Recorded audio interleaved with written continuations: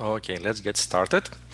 Um, hi everyone and welcome to another NetBeez webinar. Today we'll be talking about how to test bandwidth with iPerf. My name is Panos Vouzis. Uh, I'm a co-founder and CEO at NetBeez, and I will be your host today. Here's a quick overview of the agenda. So I'm going to start with, you know, some introductory things about iPerf, uh, what, what is it and what it can do for you. I'm going to show you um, what is the lab setup I'm going to be using for today's demonstration.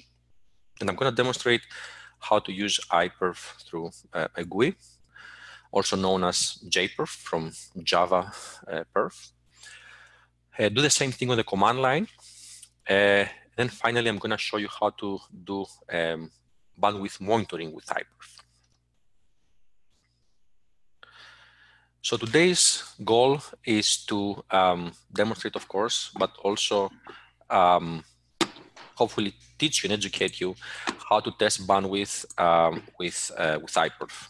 Uh, hopefully, when we are done, you will be able to run this by yourself with your own uh, lab setup, or but also in the field, right, um, at your own convenience.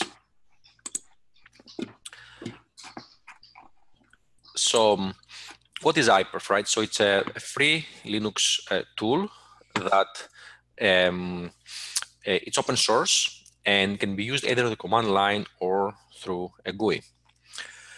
Um, so all it does actually is very simple. Uh, it pushes TCP or UDP traffic between two hosts and um, and um, measures how much of this traffic can push. Um, it supports all major platforms, Linux, Windows, uh, macOS, and also you can find actually versions uh, or applications, mobile applications for Android and iOS. And there are um, apps out there, some free, some paid that you can use. There are two major two major versions, iPerf 2 and iPerf 3. Uh, 3, of course, is more recent, um, but both of them are being maintained right now uh, in parallel and they're independent to each other. Um, I don't know why they did that, but some people decided to run to write a new version of iPerf, and for maybe some justifiable reasons they didn't couldn't make it compatible with iPerf version 2. That means that when you run an iPerf test between two hosts, you have to make sure that both hosts run the same version, either 2 or 3. If you try to mix the two, it won't work. Um, so how to install iPerf? Um, so you're attending this webinar and you have received already instructions from us how to do that. If you haven't done that, you still have time for that, a couple of minutes. That's all it takes actually. Uh, you can catch up with us later. So go to netbeez.net slash webinar. We have the instructions there, the links to download iPerf and JPerf. So download the links, extract the files, um, follow the instructions for your platform, if it's Windows or, or Mac. And if you are a Linux user, you can and on Debian-based Linux at least, you can install um, iPerf uh, version 2 by just running apt-get install iPerf and iPerf version 3 with apt-get install iPerf 3. So before I move on, uh, just a reminder, if you have any questions uh, during the webinar, um, use the Q&A um, uh, panel to send them over, and we'll answer them uh, at the end of the webinar. So now, why do you want to use iPerf? I see three main use cases here. The first one is when you do stress testing during your um, deployment. Uh, so that can be, for example, when you set up a circuit that's supposed to um, be supporting, let's say, 500 megabps, and you want to make sure that uh, you know you can test it and delivers that that bandwidth right from both ends.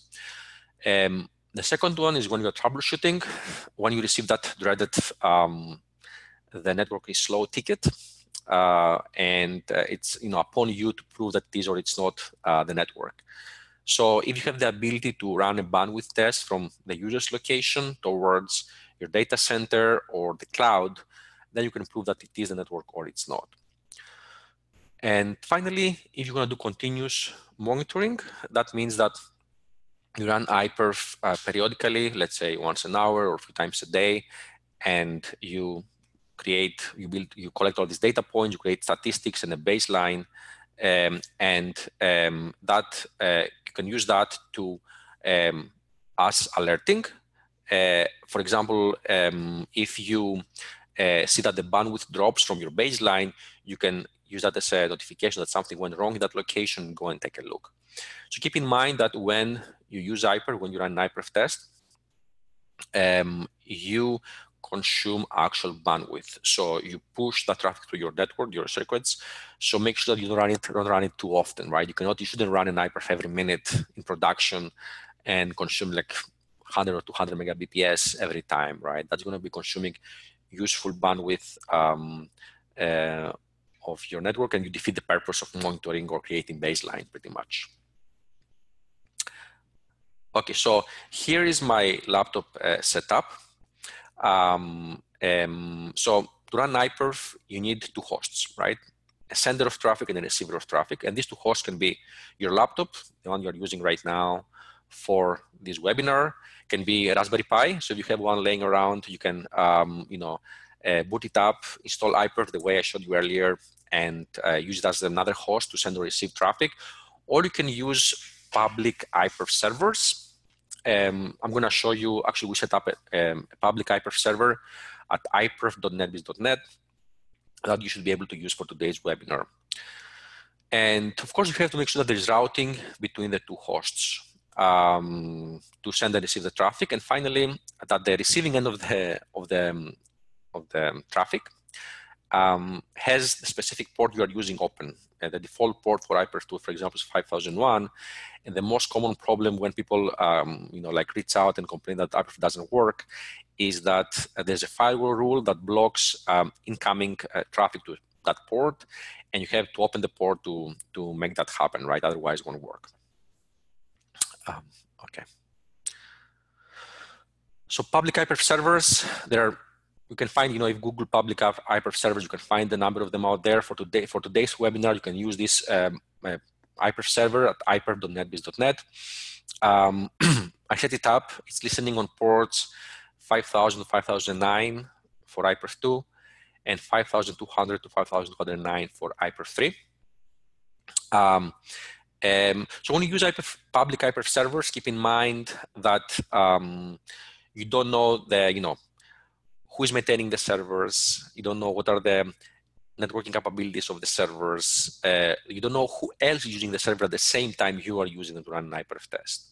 So your measurements, you know, your mileage can vary there in terms of your measurements. So uh, that's why it's when you're, you know, want to be more reliable and um, consistent with your measurements, it's better if you use your own uh, known um, source and destination of traffic to make sure that your measurements are accurate and reliable, right? So let's move on to the main meat of the presentation, which is how to do this, right? So for this first test, I'm going to be using my laptop as a client in the iPerf uh, lingo of the traffic. So the client is the sender of the, of the traffic. And um, I have here my laptop connected to a wireless router and on the one of the LAN ports of the, of the router, I have a local host, right? That's going to be the, the server or the receiver of the traffic.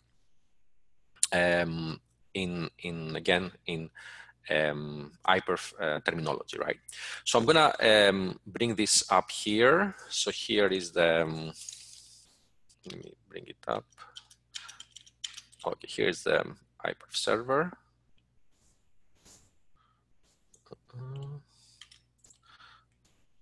Okay. Okay, bring here the server.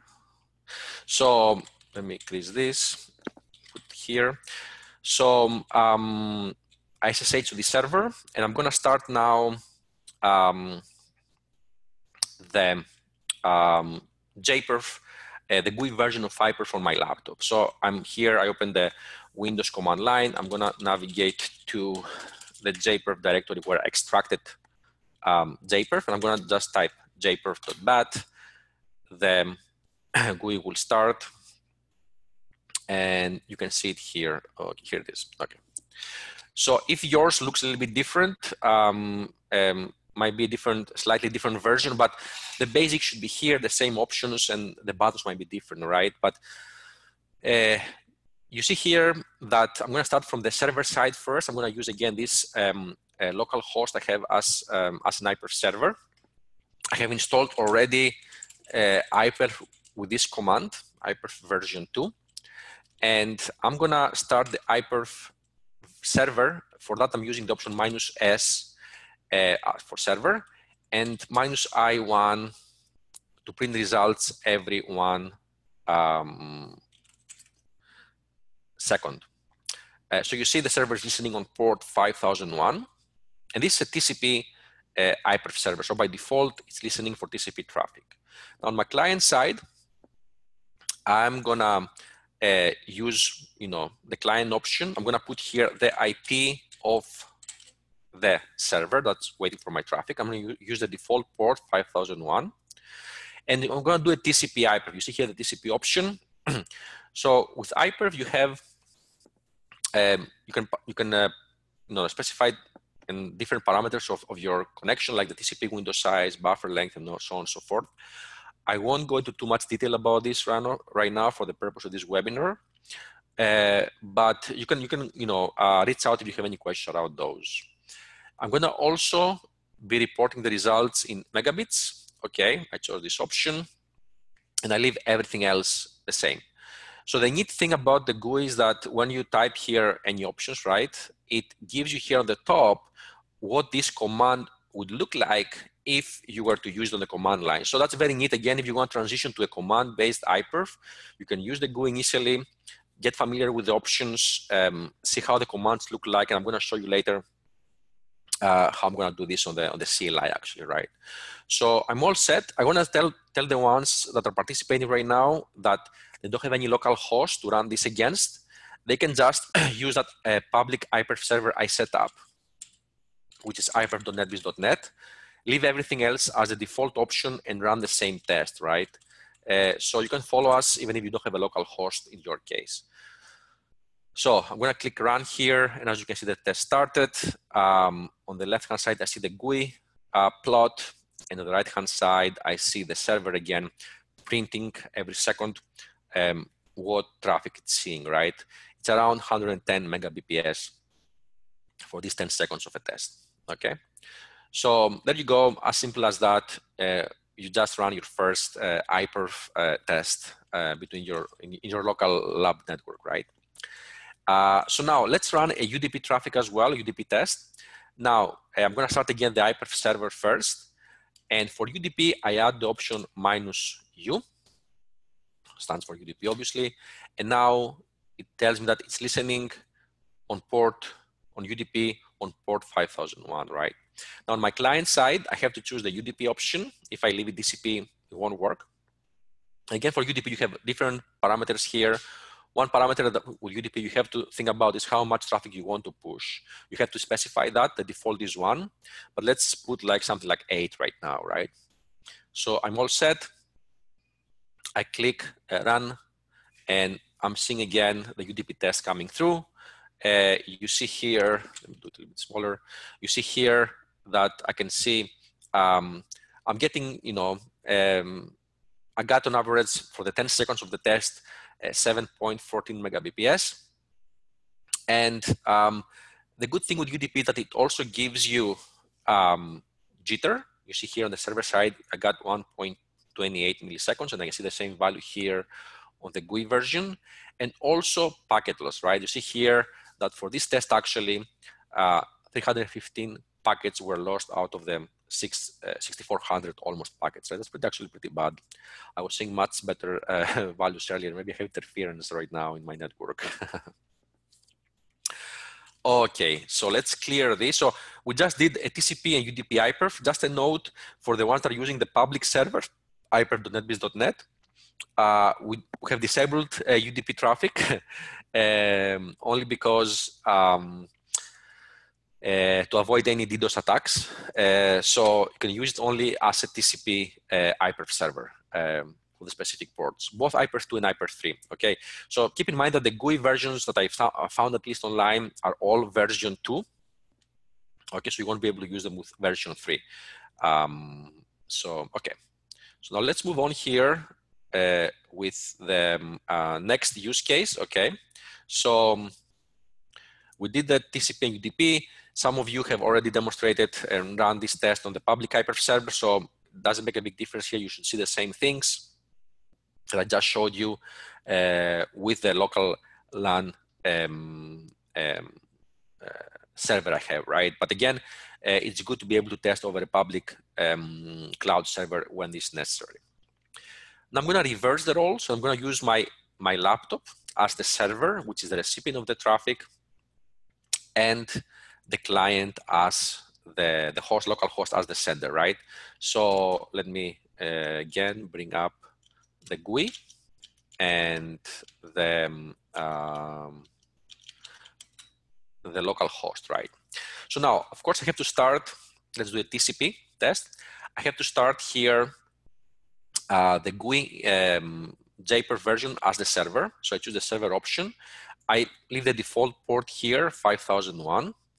And um, everything else, again, I'm gonna leave the default options. I'm not touching anything. Uh, run iperf, and now my laptop here is becoming a server. Some of you, might, when you run this, you, you may see notification that it's asking confirmation to allow your laptop to receive traffic, right? You need to have administrative privileges to be able to approve incoming traffic for security purpose on your laptop, right? So if you see that, just click allow. And now I'm gonna start the same test here uh, towards my laptop, right? So the IP of my laptop is 10.0.0.1.1 minus I1. That should be it. And there you go. So the test started. And right now it's, I'm seeing here the, uh, the same results, 103 megabps, right? Actually 86 megabps. So something to note here, right? If you remember earlier, when we ran the test the other direction from my laptop towards this host, we got a slightly different values around 100 megabps, if I remember correctly. So that happens, may happen. Um, uh, so make sure when you run an iperf test, you run it both directions, um, on both directions, to make sure that your bandwidth is symmetric uh, so don't rely on one measurement to, to, to validate your circuit performance, okay? Uh, so I'm gonna stop here now. You have to stop the iperf server, otherwise your that port will be occupied on your on your um, um, laptop, right? So that was the second or the third uh, task. Let's move to the to the next one, which is to do a reverse iperf. So this is a very actually cool feature, and uh, let me explain you what why is this useful. Um, um, so and what what's the difference between version two and version three? So now when I run, let's say uh, an iperf test and my laptop is the client, it starts a test, so it sends traffic to this iperf server. And then I can ask iperf when this is done to send traffic back from the server to my laptop. Uh, so um, now, uh, when this happens, there's a big difference between version 2 and version 3. In version 2, this reverse option, what happens is that the client starts, it sends traffic to the server, and then when the server is done, it does the same in reverse. And this is done by the client now becoming the server. So it starts listening to port, let's say 5001. So it establishes a new connection from the server that sits wherever it is, towards my laptop, right? So it needs to establish a new connection back to um, back to the you know uh, client to run the reverse uh, test. That's iperf version two. The problem with that is that if let's say your laptop is is behind a NAT, right? It's NATed, or if your laptop uh, is um, has any firewalls blocking incoming traffic, and you're using let's say a public iPerf server, then this reverse blue uh, test won't be able to, to go through, right? The connection won't be able to be established and the test will fail. Now in version three, I guess they were smarter when they did that. Uh, when the reverse uh, test happens, it uses the same established connection between the client and the server. So the client starts the test, it sends traffic to the server, and then when the server, it's the server's turn to send traffic back, it uses the same TCP socket which is already established outbound from the client to the server, and the test will go through even, even though you might be behind a NAT or you might have a firewall, right? That's because the connection was established outbound from the laptop to the server. Um, that's one of the, I would say, more important difference between version 2 and version 3. And I'm going to tell you the next one, the next difference um, after we're done with this test. So I'm going to move back to um, my GUI here. I'm going to start clear this. I'm going to start my iPerf server here. Print results every one second. And now here, I'm going to be a client. Okay, I'm going to put here the IP of the local host. And I'm to use this option here uh, it's called trade or trade-off um, on the GUI. And uh, that you will see is going to start. First, my client is sending traffic to the server. So it's recording that information, that performance. Let's see now when this is done, the reverse roles. And now my laptop is receiving the traffic, right? Of the of, and you see here also, here it's very easy to see the uh, discrepancy in performance. So you see that when my laptop is the sender, it gets around 120 megabps, but when it's the receiver, um, where the receiver, uh, um, you will be, you see that you get 85 megabps, right? which uh, is much lower, right? So it's a very good indication to uh, that there's a difference here in performance.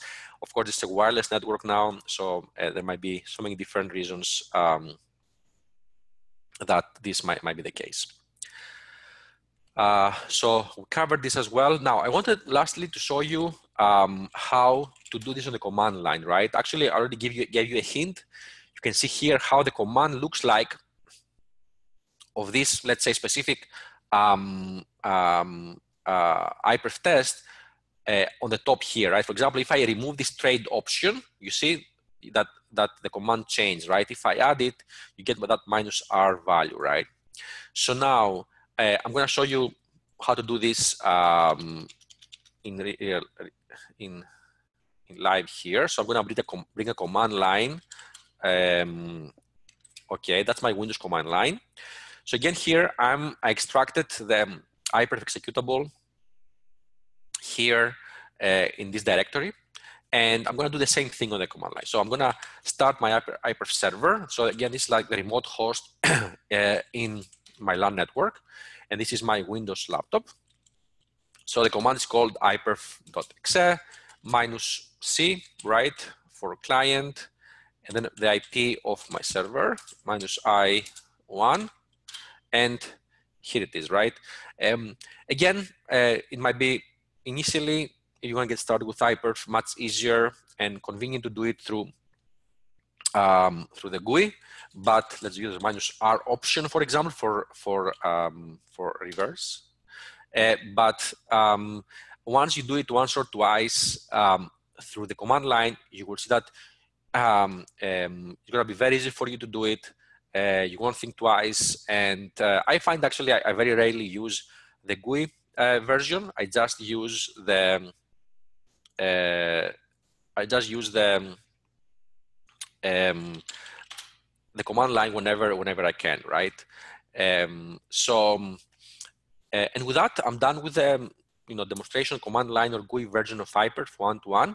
The next uh, item I want to cover was how to do this like in a continuous mode, right? so imagine now that you're gonna again use iPerf for for monitoring, for not not for testing or, or troubleshooting, but run it continuously, periodically, and be able to uh, collect the results, build statistics, and um, uh, even even get notified when something goes wrong, right? Um, so how can you do that? So actually the command line here is where it comes into play because with the command line you can write, write a bash script on Linux or a batch script on Windows, run it, um, let's say every hour, um, and then collect the results, put them in a log file, create a report around them, right? However, what happens when you're gonna do that from, let's say, a dozen locations, right? You're gonna collect all the results in a single file and then uh, create a report uh, things may, can become hairy and uh, and um, and complicated, and also it's difficult to maintain this um, this um, this this script and and, and all this uh, logging information, right? So that's where um, you know NetBeez comes into play here. So I'm going to show you here again live um, what uh, how NetBeez approaches that problem, right? So in a nutshell, NetBeez is um, a network monitoring tool, and it uses hardware agents to uh, monitor remote offices. Um, so you see here on this setup, or demo setup, we have 28 uh, of these uh, devices. They can be wireless or wired, so you can run a wireless iPerf test or a wired iPerf test towards between two different agents. Let's say you have one agent in New York, your New York office, and one in, in, in Chicago. So you can run an iPerf test between them. You can do it. Or you can run other types of tests like ping, DNS, HTTP, and traceroute. I want to focus now on the iPerf part here. So I'm going to show you two things. One is how to run iPerf uh, continuously. So I'm going to, going, going, going to go under tests. And you see here, I have set up an iPerf test that runs between our San Jose, two San Jose, two agents being in a San Jose lab where I'm, I'm at right now. And they run um, every day on these hours of the day. So at midnight, 2 a.m., 4 a.m., 10 p.m., and then uh, 10 to uh, 8 a.m., 10 and, uh, and 11 p.m., right? On the 15th minute. Um, this is, of course, I record all results here. I can go back in time. I can see historical. I can see where things changed, where they dropped, right? And for example, this test here is between our San Jose and Pittsburgh offices. Uh, it's a, TCP, a UDP iPerf at 5 megabps, which also gives us um, a jitter and packet loss. Uh, and uh, it runs once an hour on the hour. Um, so, um, and um, and the other part of, of the um, of the dashboard here is that uh, you can run the same commands I showed you earlier. Uh, I was doing a test earlier here.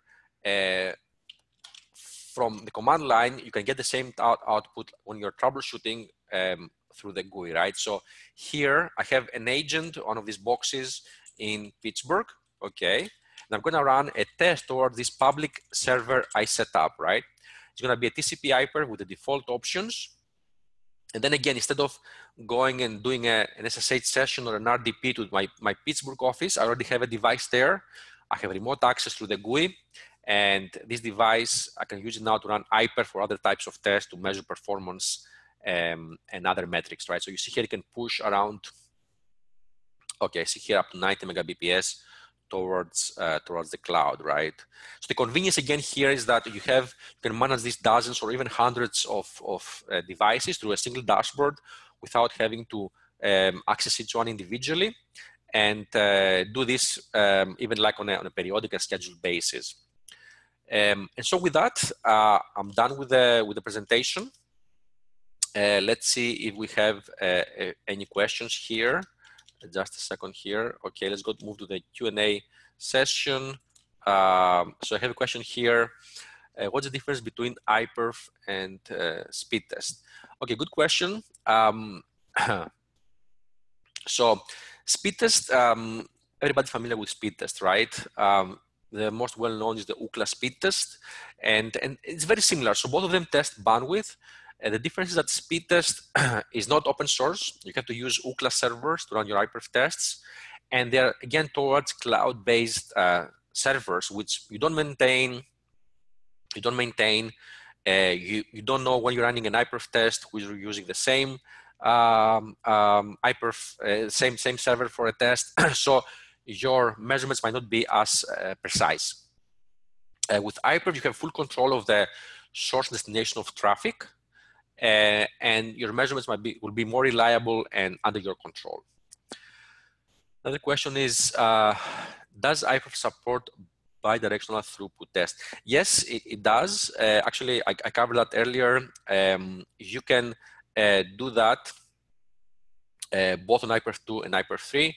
Um, the, um, the iPerf 3 version, I think it's more advanced than that in the sense that um, it can send uh, them the reverse um, iPerf traffic through the same socket that was already established from the client to the server.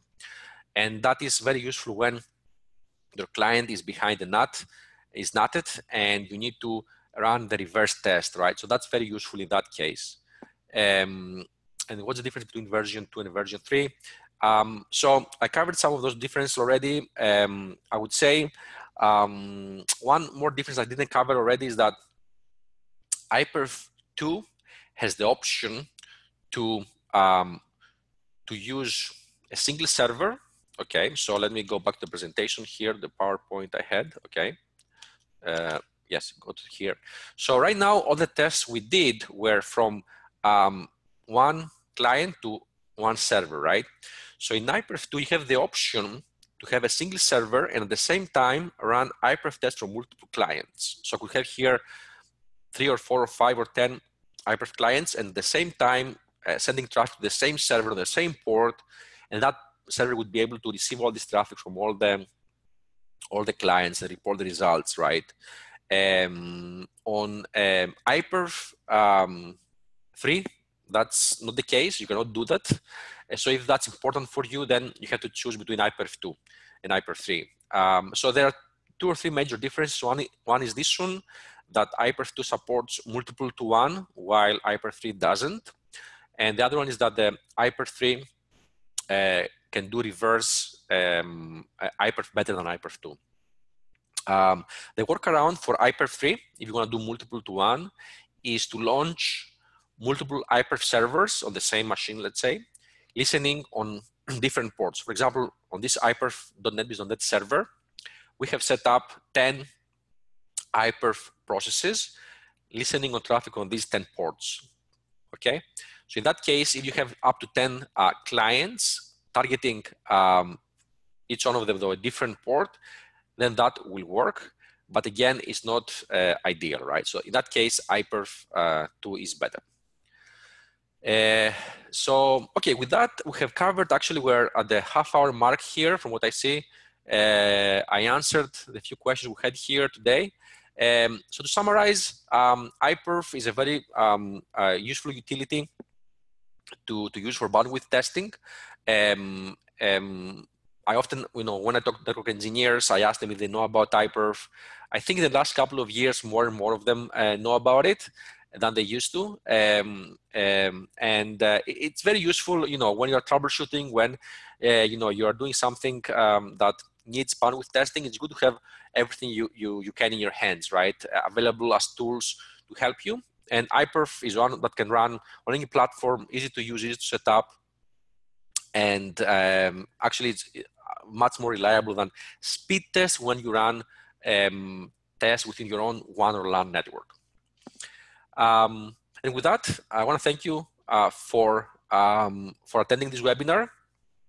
Um, thank you for the questions. And if you want to see more about NetBeez, what we do and how you can use iPerf, but a number of other also uh, tools and testing for your own needs uh, in your networks, uh, please call us. We support wireless and wired agents, cloud or public uh, agents. And uh, we give you the ability to do end-to-end -end testing uh, between your locations, right? Um, so please go to our website, netbeez.net, request a demo, and um, we'll reach out to you to uh, talk in, in more detail about NetBeez and also answer your iPerf questions if that's needed. Thank you all and have, uh, have a nice uh, day. Bye.